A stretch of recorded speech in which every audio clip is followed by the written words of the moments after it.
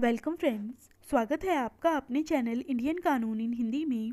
तो आज की वीडियो में हम माननीय सुप्रीम कोर्ट के द्वारा दिए गए एक लेटेस्ट जजमेंट के बारे में बात करेंगे, जो कि चेक बाउंस को लेकर आया है।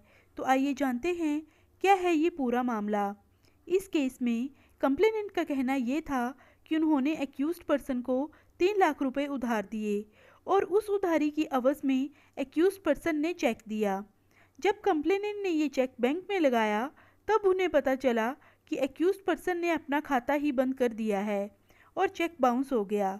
चेक बाउंस होने के बहुत से कारण होते हैं, जैसे कि सिग्नेचर मैच नहीं होते, कई मामलों में आपके खातों में पैसा नहीं होता, या फिर कई मामलों में चेक में ओवर होती है, या फिर कई मामलों में अकाउंट ही क्लोज करवा दिया जाता है। तो ऐसे में बहुत सारे रीज़न होते हैं जिनकी वजह से आपके चेक का भुगतान नहीं हो पाता। जब चेक बाउंस हो जाता है तो इसकी प्रक्रिया ये है कि सामने वाले व्यक्ति को एक लीगल नोटिस एडवोकेट के द्वारा भेजा जाता है। इस केस में भी लीगल नोटिस भेजा गया, लेकिन एक्यूज पर्सन ने फिर भी पैसे नहीं दिए। कंप्लेनेंट के द्वारा 138 एनआई एक्ट के तहत मुकदमा दर्ज किया गया अब लोअर कोर्ट के सामने इसका ट्रायल चला। इसमें एक्यूज पर्सन के द्वारा बोला गया कि कंप्लेनेंट का कहना है कि मैंने इनसे तीन लाख रुपए उधार लिए और चेक दिया। ऐसा बिल्कुल भी नहीं है और ऐसा कोई भी एविडेंस ऑन रिकॉर्ड नहीं है कि इन्होंने हमें तीन लाख रुपए दिए हों और एक्यूज पर्सन के द्वारा तीन लाख रुपए ले लिए गए हों।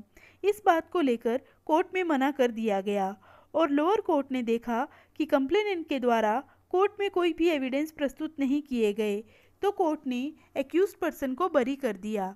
इसके बाद कंप्लेनेंट पहुँचा हाई कोर्ट में। हाई कोर्ट ने पूरे मामले की तथ्यों और परिस्थितियों को देखा तो कहा कि चेक बाउंस का जो मुकदमा होता है, उसके अंतर्गत ये आवश्यक नहीं है कि ये सिद्ध किया जाए कि पैसे दिए गए हैं या फिर नहीं दिए गए हैं। चेक की अपने आप में ये सिद्ध करता है कि कुछ तो देनदारी रही होगी। इसके लिए एविडेंस की आवश्यकता नहीं है। और हाई कोर्ट ने एक्यूज पर्सन को कन्विक्ट कर दिया। अब एक्यूज पर्सन ने इस ऑर्डर को माननीय सुप्रीम कोर्ट में चैलेंज किया और कहा कि मैंने कोई तीन लाख रुपए उधार नहीं लिए हैं। इसके अलावा उन्होंने ये भी बताया कि जो उनकी इनकम टैक्स रिटर्न है, उसमें भी तीन लाख रुपए की कहीं कोई एंट्री नहीं है। उसके बाद इनकम टैक्स अधिकारी को कोर्ट में एग्जामिन करवाया गया, जिससे ये क्लियर हो सके कि तीन लाख रुपए कहीं भी रिकॉर्ड पर नहीं आए हैं।